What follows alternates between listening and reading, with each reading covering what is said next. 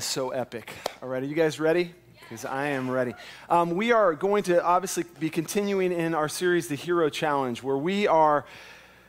My goal and my heart is that we would begin to put a focus and attention to the areas in our lives that, that we know need some massive action on our parts. That we have information, we, we have knowledge, we have tools, and, and yet sometimes all of that stuff just isn't enough. I mean, I'll give you an example. I mean, I have just gotten really excited, and for those who know me, they know when I get excited about something, I really, I just go all in. I get very invested. And so my wife and I started a project that she threw out to me, and I thought, you know, it was beyond my scope of really where I act day to day. And so she said, honey, let's build a table for Thanksgiving. And so she found some plans online, and I thought, this will be great. And so I decided to purchase some, some tools to help me build that table.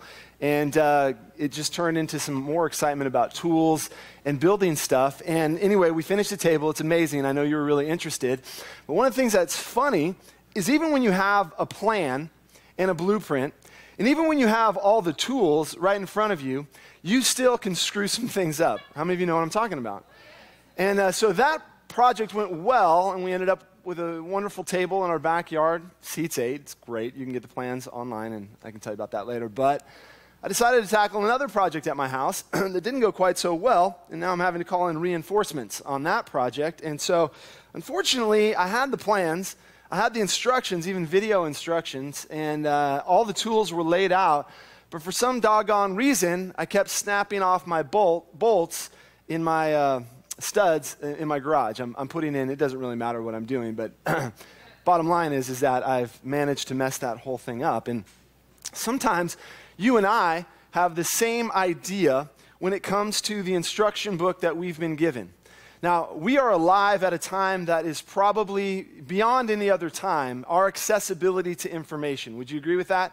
I mean, you know, if you think back a few years, you know, beyond eight tracks and cassette recorders and all that stuff, when people actually, someone, as far as even just a, a, pastor coming to church, where, where that pastor lived in a rural area, area, he had no radio, no anything, and he had to just come up with a message. But now I know I, I fight a battle because you can go online and listen to podcasts and sermons and videos and all kinds of stuff. And my level of communication has to, you know, I gotta, I gotta raise the roof on it, raise the bar a little bit because I'm competing. And you could be like, oh, heard, we heard that, Brad. We heard, I heard something better. I read 17 books. I downloaded it to my Nook. I'm listening to a podcast right now, and I'm just like, geez, you know. But even with all that information that we have, how many of you know, with the information, with the tools that we've been given, we still have a propensity to just screw things up. How do I know this?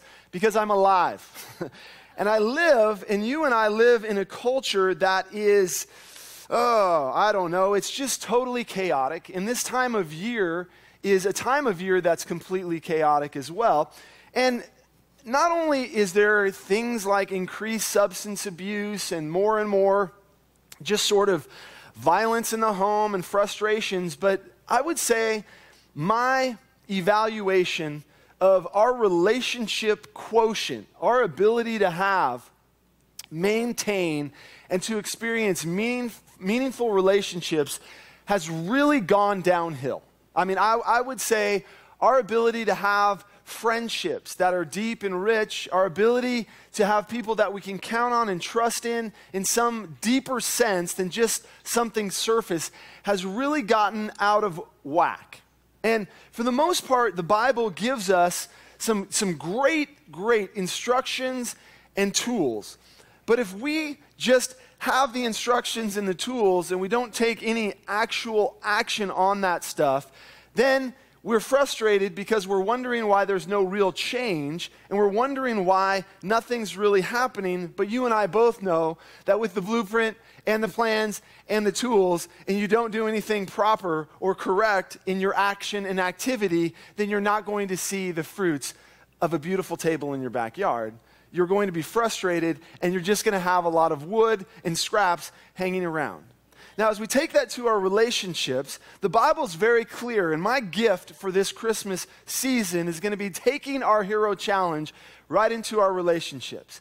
Because I want to give to you the gift of, of relationships, the gift of having um, an opportunity to extract the information and the tools and put them in, into practice and for your life to be transformed in the area of relationships. Because I believe it is one of the single, eh, if not the area that, that we as a group of people need to focus on. Not only our relationship with others, but also understanding how to have a relationship with God. And we started off this year talking about how sometimes when we go to church, we can get a mindset that I'm going to live above or under God or I'm going to live for Him. And so we start doing church activity, and now I'm living for God. But God didn't ask that from us. Actually, it puts us in a, a sort of a, a mixed up, confused relationship with Him when we're living for Him. And I wear WWJD bracelets, and I do church activity, and I sort of hold my banner because He says all He wants from you is a relationship with Him. He wants to walk this life with you. He wants to go on the journey with you. He wants to be with you every day in a relationship where you have the opportunity to talk to Him and to hear from Him. And that is the value and the benefit and the beauty of having a God who loves us 100%. But now He opens up and gives us information into our significant, meaningful relationships in our lives because He knows that it is the single greatest area of pain for sure. Now, the Bible, first off, and, and Jesus gives us a, a, few insights. One insight that I find um, interesting, especially in our current culture and time, is he says that it's impossible that offenses come. If you're a football fan, you know defense. This is offense. Okay, anyway, never mind. Um, offenses will come. He says that we are going to have offenses. There is going to be a barrage in our life of opportunity for us to be offended. Now, most of us, when we think about this, we think grand scale as opposed to tiny little items that cause problems in situations. The snubs, the lack of invitation, the Facebook post that, what did they mean by that? The uh, sneer, the bigger items where somebody says something and does something to us um, that causes us to go into a spin, tailspin emotionally that creates a massive amount of frustration and angst. And Jesus says it's impossible that offenses come. Now, I'd like for it to say if you follow Jesus, you will never have the chance or moment to be offended. It does not say that. I wish it said that when you follow Jesus, your life becomes a flowery bed of ease and just, you know, fluffiness, but he doesn't say that. Jesus says that you're going to have offenses. Pain is going to happen. In other words, it's inevitable. You're going to go through some junk. Anybody ever been through hard times, difficult circumstances that caused pain in your life? Anybody come from a dysfunctional home where mom and dad weren't the perfect picture of everything that they should be for you? Anyone? Anyone? Bueller, Bueller, all of you. Pain is inevitable. But he goes on to give us insight and says that while pain is inevitable, suffering is optional. While you're going to experience some stuff in life, Jesus goes on to say in the same passage that offenses are going to come. He tells us to take heed and to beware those of you who are offended. I wish that he would have taken more time to deal with those rat punks who offend us, but he puts more attention to those of us who are actually offended. Now, hang tight, because what I'm going to share with you like I said, is going to rock your world and will change your life in the area of relationships and will cause the, the inevitable suffering that you've been going through and been hanging on to to disappear today. It has the chance to disappear, and you have a, a, a moment to be able to grasp a hold of peace and happiness that God promises us through Scripture. And we're going to see how it unfolds. All right? So, if you're taking notes, you will write down pain is inevitable, suffering is optional. Say that back to me. All right. Now, most of us, when we get into a situation where we are offended, where somebody has done something to us that has hurt us or has caused us to feel a certain way, most of us believe that the rules for happiness and peace they get adjusted. We think that based on the fact that somebody's wrong to us, that then we can begin to justify our behavior based on the actions that have been brought against us. Now, we're going to see if that holds up today, and we're going to try to understand a little bit deeper why that is not the truth and why Jesus is able to come at us and be able to open us up to a reality that will cause us to experience freedom emotionally. Now, for most of us, what happens when we're feeling uh, the pain and we begin to move into the suffering, a few of the choice activities or tools that we pick up are the following. One, we try to get the other person who has wronged us to change their behavior. You know, you mother, you did something to me, you stink, and I, am going to get you to change your behavior. Also, some of us, when we start to feel a certain way, we feel uh, opposed, we feel offended, we try to escape the way that we're feeling through number of different vices. We could lay them out here, but it's not necessary. I think we understand what those could be. And so we try to escape through some form of, of thing that will cause us. It could be shopping, it could be something destructive. It doesn't matter what it is, but the tool that we pick up happens to be that. Also, I know it's not buddy here, anyone here in this room, but sometimes we retaliate. You know, God said an instruction to us that when you take it in context makes a whole lot of sense because he knows its power and its destructive force. He says, Vengeance is mine, says the Lord. I don't like that sometimes because, no, I'm fine, God. I'll go ahead and handle this myself.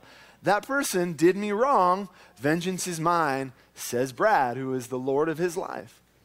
But God says, No, I want to lead you to the best possible way to live.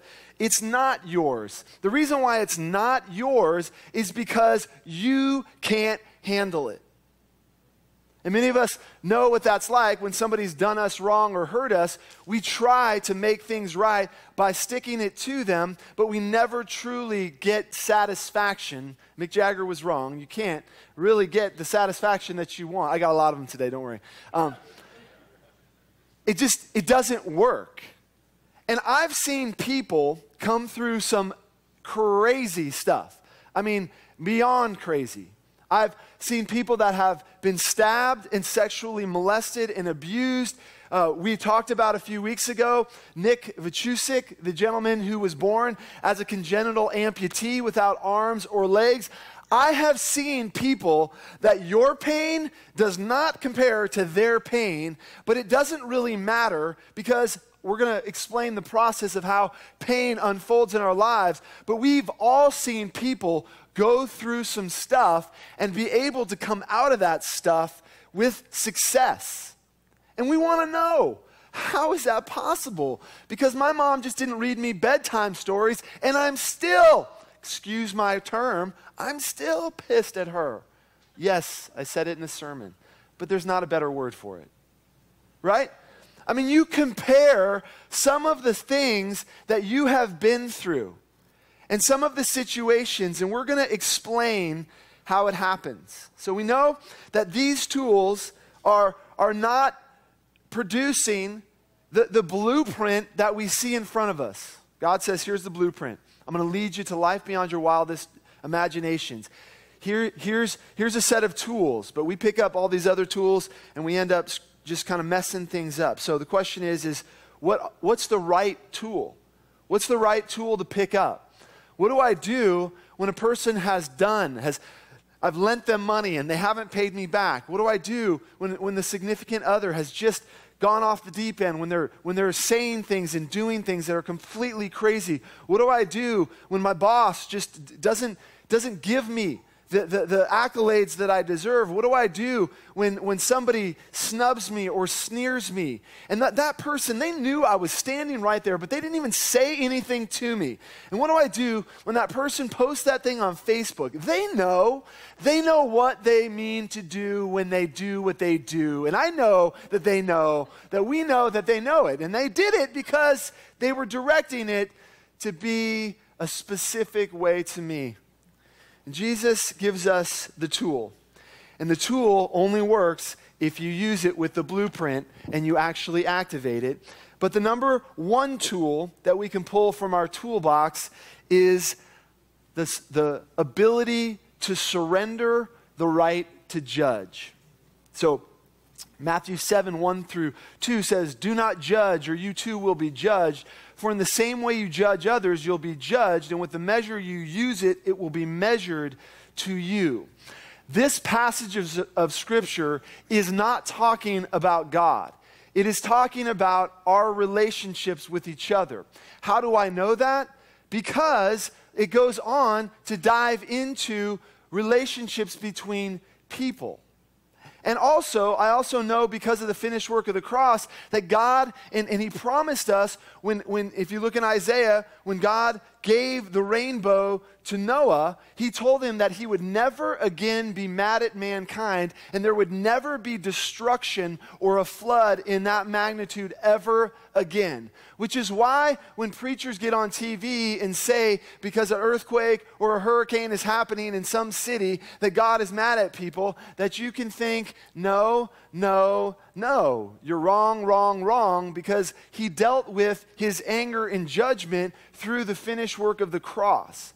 And when somebody says something like that, they just don't understand, or they have not gotten to a place in their relationship with the God that they understand his character and his heart. Because I can tell you this God is not mad at people, he loves them. Just the same way when your kid who's been hopped up on sugar by Mr. Terry goes crazy. Where is? Is he in here? Oh, yes. When he goes crazy, you can love your kid, right? I mean, when they go nuts and say the craziest things, and sometimes your children may say, I hate you. And you're like, I love you because you're my kid. God loves us that same way. And then he says, here's what, here's what happens. Parallel scripture is in Luke 6 38.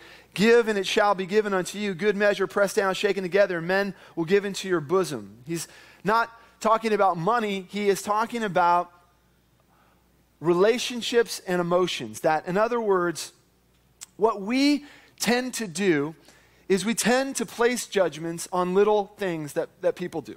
Now, it is going berserk right now. I just see this happening all the time everywhere. I mean, let me, let me try to draw some out, okay? I mean, let's, let's imagine that, um, oh, gosh, let's, let's take, take a look at it. Uh, a few weeks ago, I was at work and uh, um, I got called, called out, you know, and in my mind, I interpreted the situation to mean this might be my last day, and I have no, I, I have no idea why. And, and so I went ahead and, you know, started to, in my brain, just sort of pack my, my bags and my things. I don't know why. Our brains just do that. Anybody ever, stuff happens, you're like, this is it. And uh, so I'm like, geez, all right. And then I get outside the door, and, and my boss proceeds to have a conversation with me about something that's happening in his life. And that he needs me to, to just sort of be, be able to be an encouragement. I, I won't go into the details of it. And do you know how awesome I felt?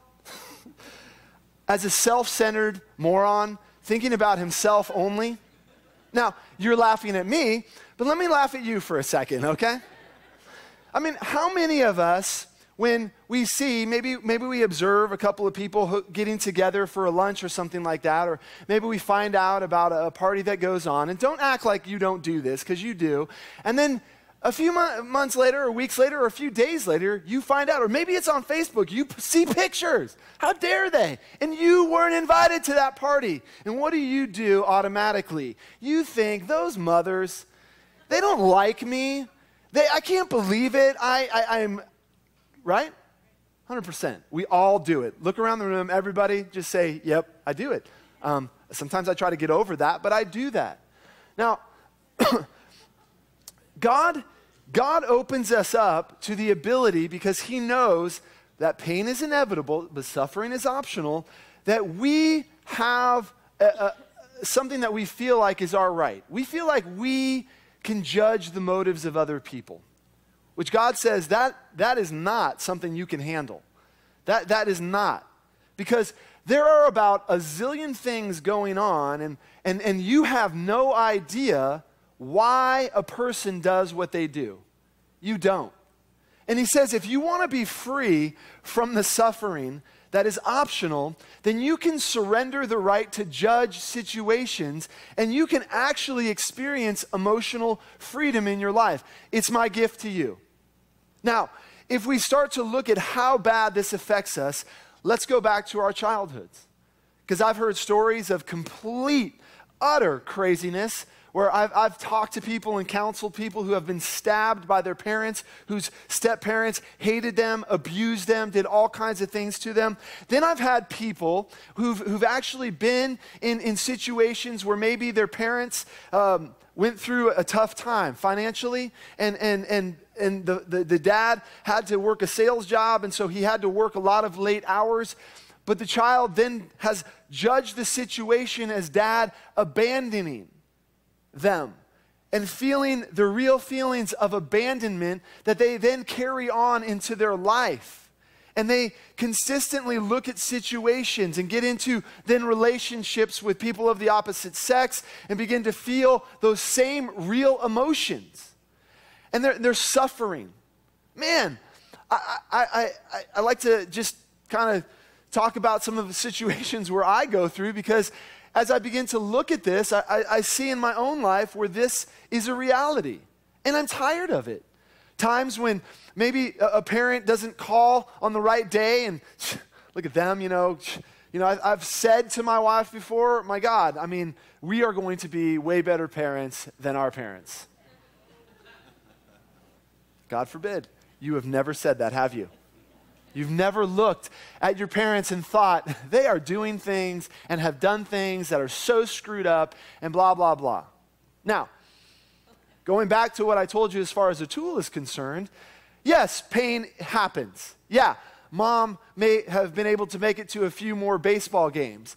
But when I decide that I am going to be God and decide that I know why my mother decided not to go or couldn't make it to the games that I held so preciously dear, I put myself on the roller coaster of misery.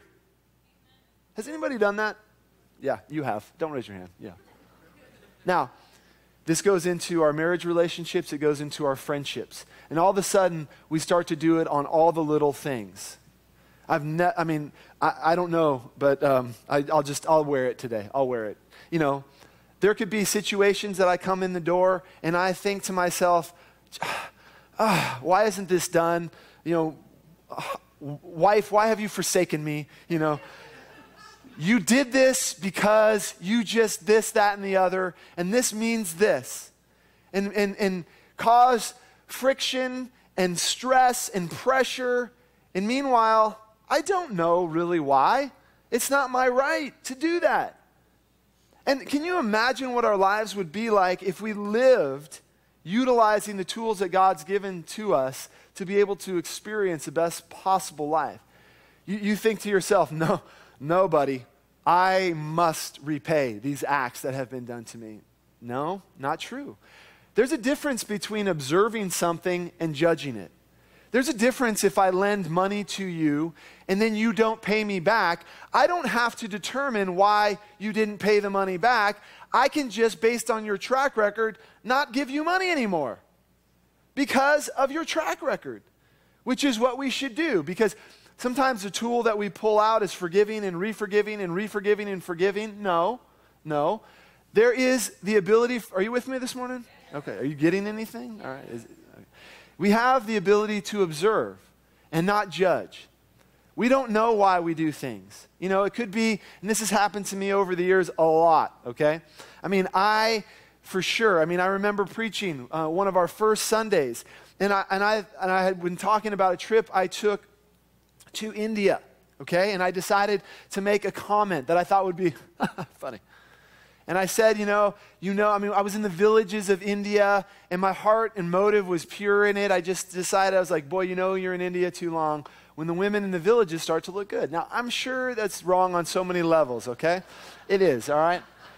But somebody decided to be the judge and jury of why I said that. And, and they tried to kill me. No, they didn't. I'm just joking. Oh. No. And I remember being like, wow, I didn't mean it like that. I mean, I love I love the people in India. I've been there, but I'm, I'm, just throwing it out there. Just you can take it and be like, oh my God. You guys can get together and be like, can you, can you believe he said that? All right, it was like eight years ago, okay? So just lay off, all right? I've grown up so much since then. Um, but there's other things. There's other little things that happen, right? There's other little things that take place. And, you know, we do and make judgments against one another for a lot of different reasons. I mean, God forbid you've done this, Sure, surely you've never walked into even this church facility and looked at somebody and been like, I just don't like them. Look at that. Look at Brad's striped sweater. I mean, look at, look at Brett's beard. I mean, his mustache wax. just kidding. you, you, you've got a hundred different reasons. And so, what do you do? You, you create suffering. And the next time they sneeze the wrong way, you immediately judge because you think you know that why people do what they do. You know how much awesome ability we would have to, to, to experience love and goodness? Aren't you tired, like I am, of having to be a person that decides that? I mean, has it really done you any good? Has it made your friendships richer? Has it made your relationships more meaningful? Is your marriage stronger than ever? No. And we're all in the same boat because we all do it. And, and the, the word always brings us back to an understanding. Matthew 5 22, I tell you that anyone who's angry with bro- a brother or sister will be subject to judgment. All these passages of scripture that we read, they show us what happens when we get into a place where we're constantly doing that, it just it reciprocates right back to us. So now, if I'm looking um, at at TJ and his tie and making judgments of TJ and thinking that, geez, look at him. I mean, God, he wear his shoes on stage during worship. Can you believe him? You know, and look at all this, and I've got all these ideas. It comes back to me because I create a cycle of pain, and it it it needs to end. It it needs to end because we're, we're, we're a group of people, in, in, the Bible says in 1 Corinthians, 1 Corinthians 13 that love is not touchy or oversensitive. I mean, that would help a lot of us, you know, all of us on a, any given day, because we are over the top sensitive to everything. And I'm saying that because I'm noticing that in everybody. Everybody is sensitive. Uh, everybody is trying to respond and judge one another. We, we've got an outbreak of conversations, political ones on Facebook, and I'm just thinking, you know, hold on a second here. You know, there, there's got to be a better way. You know, we, we, we immediately, when someone says something, immediately we pass judgment on why they said what they said. But the truth is, is we don't really know why. That's why the responsibility is on us to get to know people. Because when we start walking around and determining why people do what they do, we put ourselves in the suffering end of things, and it just keeps going on. And like I said, anybody have anger issues? Don't raise your hand, because it's all of you. I'm just joking. The reason those get seated in us has to do with things that we won't let go of because we're constantly judging situations. Now, it's parents, it's friends, it's spouses. This doesn't leave any of us untouched. Every one of us is in that, this same position because of how we do it. But I'm going to tell you if we're going to be able to experience what God has for us, if we're going to truly get the blueprint, see the tools, but then experience it, then we have to become a people that will surrender the right to judge. We have to become a place in a community where people feel safe and vulnerable. And the only way that happens is when we surrender the right to judge each other and we start to understand how we can actually create wholeness in relationships. if you say something to me and I get the stir to be offended, I can just say, listen, Paul, when you told me my beard wasn't awesome, it made me feel like, you know, th- this. Is that what you meant? And if Paul says, yep, I can say, okay, great, thanks for telling me. Or Paul can be like, no, dude, I was just messing with you, man. I mean, when I looked at you and went, I was thinking about something else. And, and instead of us being a group of, of uber, you know, sensitive people, we can actually become a people that learn how to manage and navigate relationships. One thing I know about all of us is because of the cycle of craziness that we've experienced in our own lives and families, we, we, haven't, we haven't really flexed our muscles in these areas to grow. And because we haven't flexed our muscles to grow, the reason why, you know, on the scale of 1 to 100, why a lot of us are at 5 and 10% is because we've really never seen that blueprint relationally. And so we've just kind of gone about it. Are you with me this morning? We've just gone about it trying to do what we do. You know, and I, it's funny when I look back early on in my, in my uh, relationship with my parents, and I've said this before, you know, I had a choice growing up. My parents w- were divorced, and, uh, and I remember being in, in uh, high school and uh, either having a chance to like hang out with all the people who talked about how their parents didn't love them and because they, they, they were divorced and they didn't see them and that and then you know other friends who were married you know i made a good choice i could have e- very easily decided to not do that and spend my time in that misery but i decided to, to hang out with, with friends that had good, good family structure and, and, I, and i really i loved it and, and it gave me some safety instead of spending my time perpetuating the misery. You with me? And, you know, it's, it's, it's difficult because I think some of us, you know, when we think, um, you know, surrender the right to judge. I mean, if, if I don't have the right to judge, who am I? You know? I mean, that's how I build my relationships. We get together and we talk about everybody and how they're so screwed up and how we're so awesome. How many of you know what I'm talking about? You know, I mean, do, do, do the, the majority of, of your connection with your work relationships talk about how much you hate your boss and how stupid he is? Some of us it is. Some of us, you know, it's, it's, we, we, we gather friendships by being a group of people who are against stuff. I'm going to tell you the truth. It's not really a friendship. It's not really a relationship. And we've, we've, we have the opportunity to not judge. We have an opportunity to not react we have an opportunity to, to downgrade from being a group of people who are just living on, on the fringe of the hairline razor of, of our emotions. But it's going to take work. I keep doing this, I keep trapping myself back here. Are you with me? It, it's going to take work, but it's worth it. It's going to take wor- work to start to adjust and, and start to develop a plan for our lives and to develop a structure and habit that, that is going to bring us to wholeness. It's going to take work for us to start to get into environments where we start to establish our hearts and we start to, to base our emotions on things that are healthier. But it's worth it. And if we're going to become and accept the hero challenge, then in this area, we, we, have got to make some movement and, and be able to establish ourselves and, and become proactive rather than reactive. And so what happens? Our relationships get better. We sleep easier. We actually, the longevity of our life, because the current structure of, of pain and suffering that we're going through is wreaking havoc on our bodies. The illness and, and the sickness and the dis-ease that's coming from it, tell me, do you know what I'm talking about? How many of you stressing and over you know, complicating and judging situations has made things in life fun and enjoyable. Well, guess what? We're, we're all in the mix of this. Now, what if a group of people in a church started to work towards that healing and wholeness? What if a group of people who allowed themselves to fall every now and again, and you may not like my sweater that I wear and judge it and think, oh my God, he's such, he's such a nerd. He's, a, he's, he's like one of those, you know, preppy kids, you know, and you don't know me. You don't know me. What if we drop that?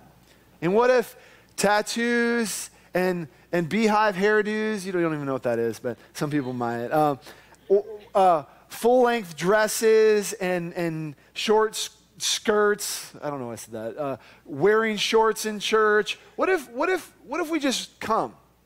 What if we don't judge each other? What if we create an environment where instead of that, there, there's a place where people can grow? What if, what if we come and instead of deciding which, which area we're at, what if we get to know one another first? And instead of buying chicken sandwiches, you know, to prove our points, what if we start to live in a way that would reflect the vision? Yeah, I know some of you don't even know what I said, why I said that, but that's all right. Don't worry about it. You're like, what?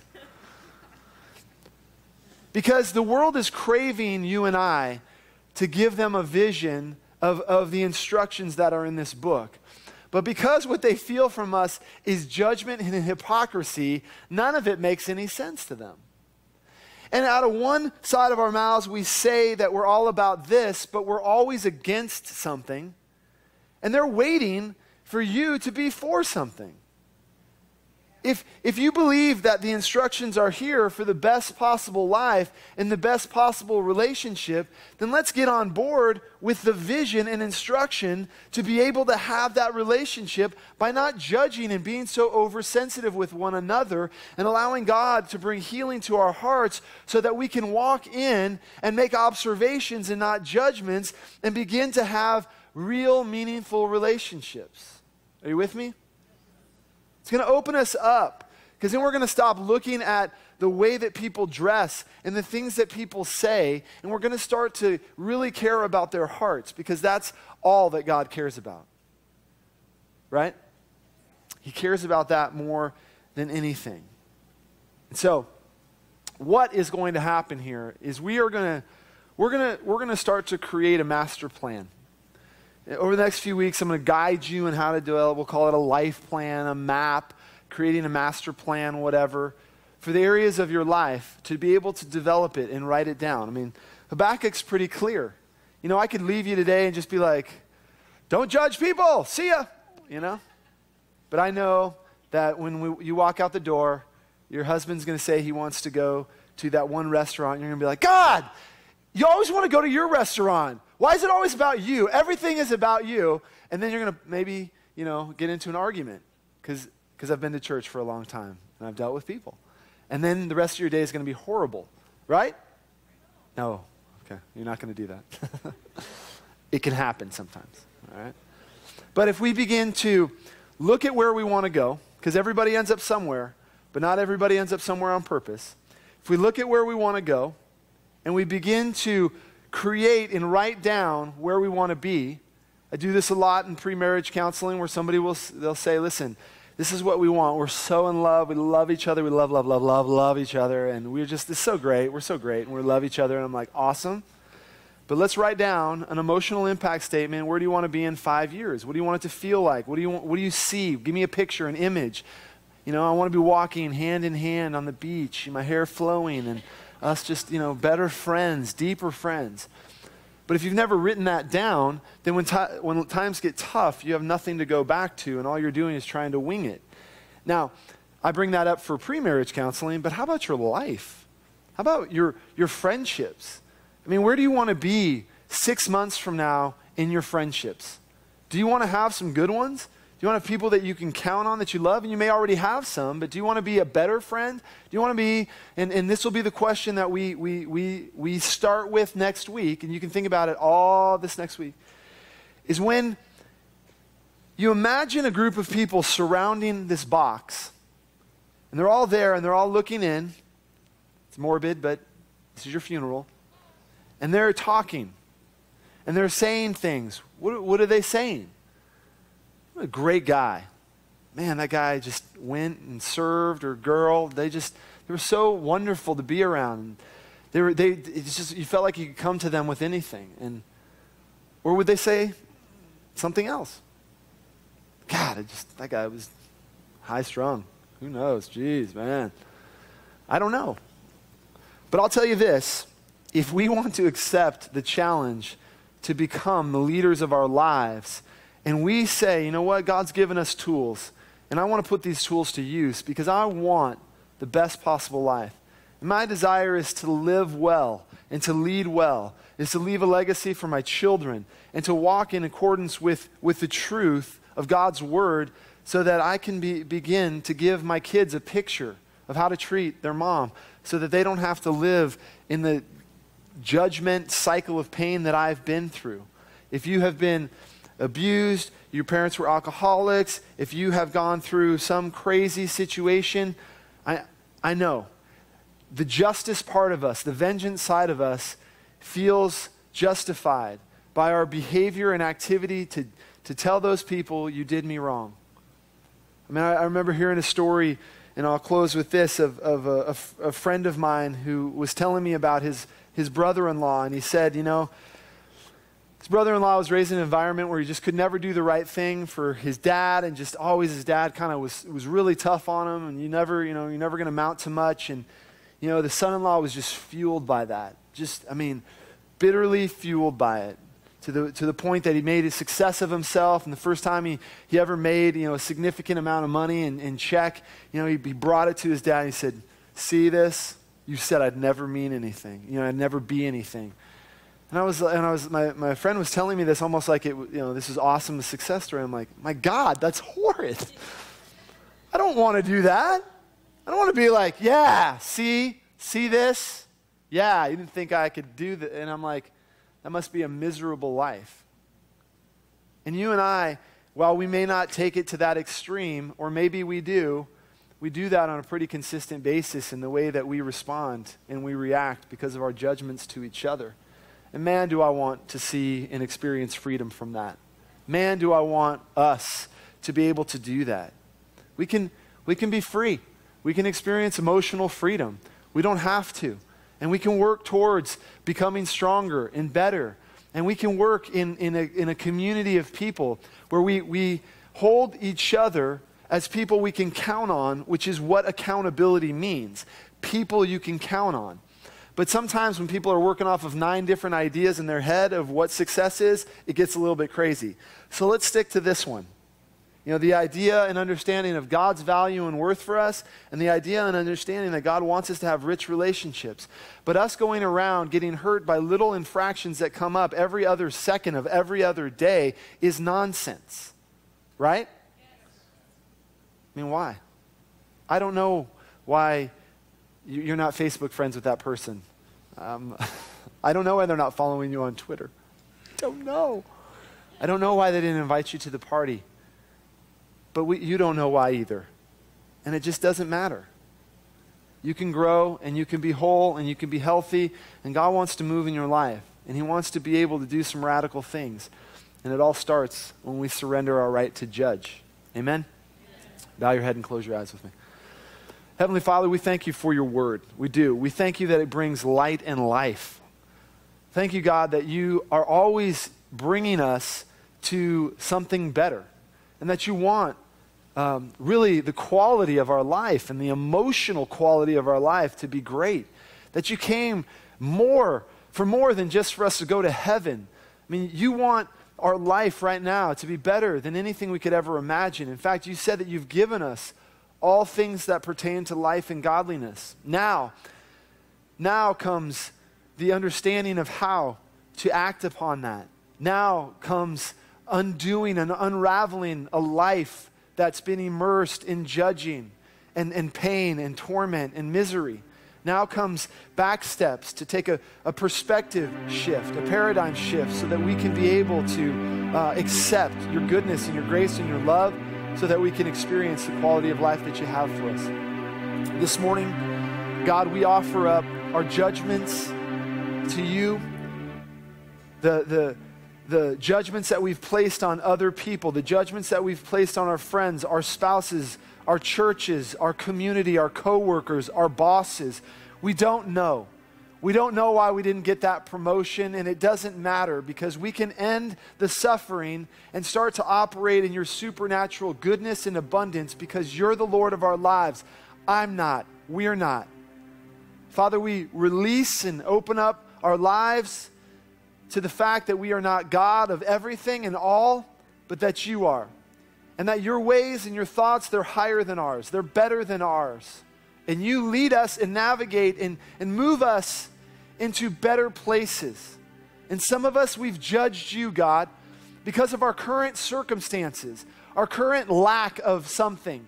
We, we've judged you. We've determined that the reason this thing happened was because of you. And that is a, a major mistake on our part. Father, we surrender that idea. We surrender that pain and misery right now because we want to have a relationship with you, not based on judgments, but based on the reality of the finished work of the cross. And this morning, while every head is bowed and every eye is closed, if you're here and you are ready to take a step like I am, to say, you know what? I am ready to surrender judging and the judgments that I've placed on family and friends and coworkers and pastors and other people that have just made me miserable. Would you be courageous enough while everyone else is not looking to raise your hand and say, That's me? Pray for me. Thank you. Thank you.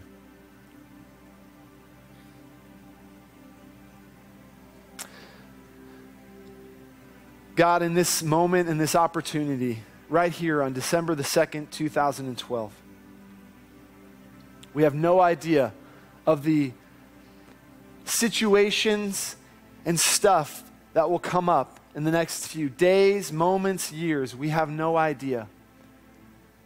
But Father, we surrender even that need to, to know and to figure out so that we can live in this present moment and take this day with these steps to be able to let go of fear, anxiety, stress, so that we can be able to experience the true emotional freedom and the real relationships that you have come to give us. In Jesus' name. And everyone said,